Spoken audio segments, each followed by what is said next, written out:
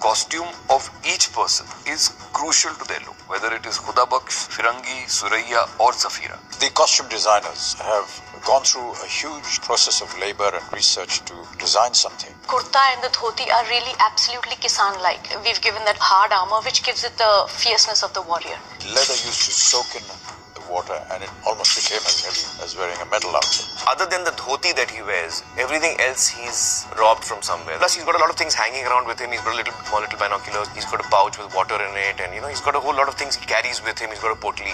I was very, very surprised when I saw the first look they did. I just thought it was absolutely fantastic. kudos to them because they imagined me as something else and completely different and हमने काफी हद तक achieve किया I'm very happy with the way the costumes of this film have finally shaped up.